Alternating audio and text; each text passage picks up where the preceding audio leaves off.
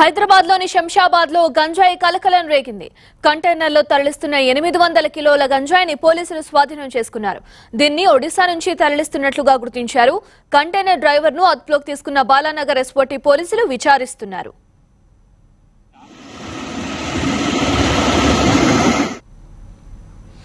రైట్గా ఇదే అంశానికి సంబంధించి మరింత సమాచారం అందించేందుకు మా క్రైమ్ కరెస్పాండెంట్ రాఘవేంద్ర అందుబాటులో ఉన్నారు. రాఘవేంద్ర.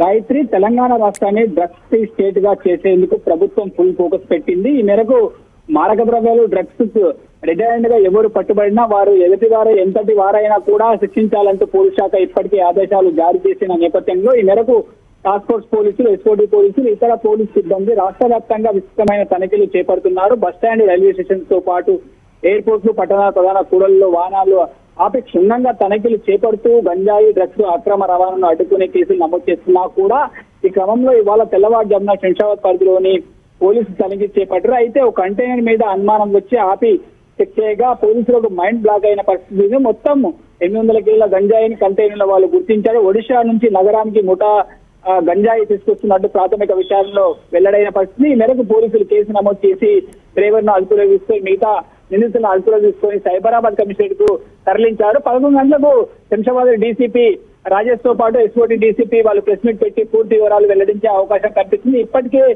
లానేడర్ పోలీసు కావచ్చు పీజీ నాప్ కావచ్చు మిగతా ఎస్ఓటీ కావచ్చు టాస్క్ ఫోర్స్ పోలీసులు కావచ్చు డ్రగ్స్ రాష్ట్ర డ్రగ్స్ రాష్ట్రంలో ఉండకూడదు కనపడకూడదు అని ఇప్పటికే ముఖ్యమంత్రి ఆదేశాలు చేసిన నేపథ్యంలో ఇట్లా ఈ విధంగా పట్టుబడడం కలకలం రేపుతుంది. మొత్తం మీద ఆ, గంటలకు మనకు వాళ్ళ ప్రెస్ మీట్లో పూర్తి వివరాలు వెల్లడే అవకాశం కనిపిస్తుంది. Gayatri. Right thank you Raghavendra